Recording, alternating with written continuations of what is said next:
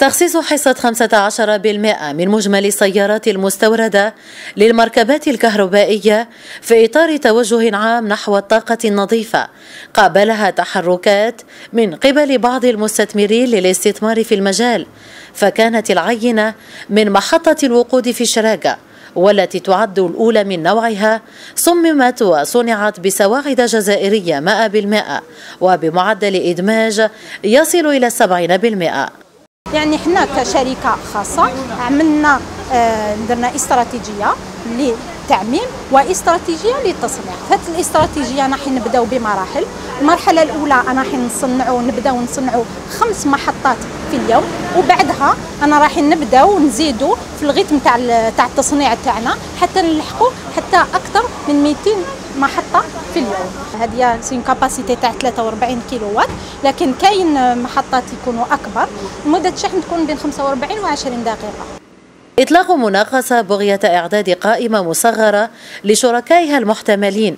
هو ما ستشرع فيه مؤسسة نفطال في المستقبل القريب خاصة وأنها ستكون بحاجة إلى العديد من الموردين لبناء شبكتها سيتم تعميم عملية إنجاز محطة شحن كهربائية أخرى عبر كافة التراب الوطني وذلك لضمان تزويد متطلبات السيارات الكهربائية التي سيتم استيرادها مستقبلا. لتعميم هذه العملية تم إطلاق مناقصة من أجل إعداد قائمة مصغرة لإنجاز المشروع. وزارة الصناعة وفي هذا السياق فرضت على وكلاء السيارات بعض الشروط لإنجاح تعميم استعمال المركبات الكهربائية في الجزائر.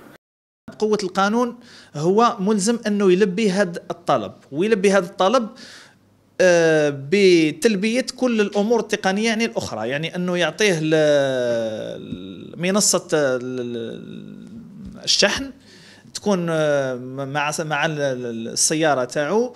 وأيضا آه، توفير آه، قطع الغيار وتوفير خدمة ما بعد البيع. توفير الأرضية المناسبة لهكذا نوع من السيارات على غرار قطاع الغيار وتوفير محطات الشحن السريع ناهيك عن التحكم في الصيانة والتصليح.